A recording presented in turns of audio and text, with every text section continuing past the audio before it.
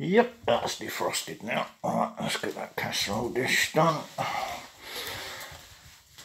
How we doing for time?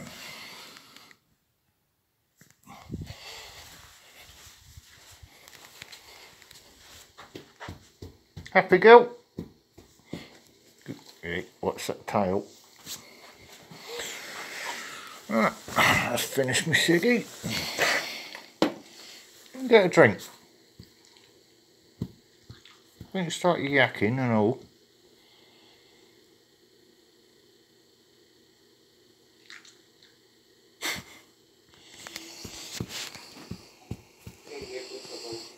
No, don't move that back leg.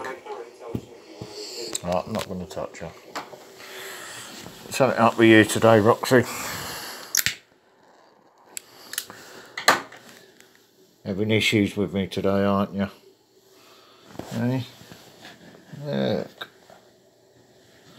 See, look. There's nothing wrong. What's the matter with you? That's it. Get your arse end round on that blanket.